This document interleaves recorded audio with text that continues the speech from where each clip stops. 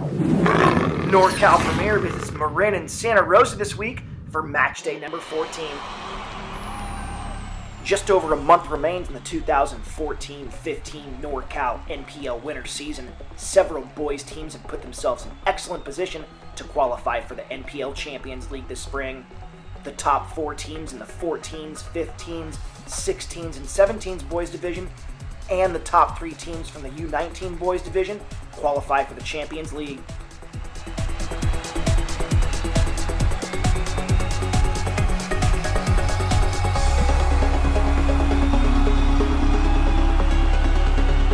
How do you feel you guys played as a team today? You guys feel like you out- played well together? Yeah, I think we came out prepared. We had a hard training session on Tuesday and Thursday. Um, we worked hard and and we played good here and our heads are focused on the next game tomorrow.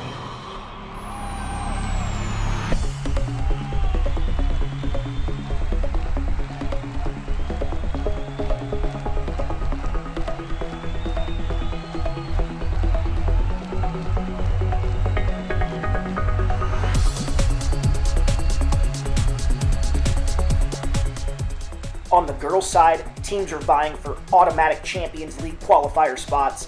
The top three teams in the U14, 16, and 17 girls division, and the top two teams from the U15 girls division get an automatic spot in the Girls Champions League next fall.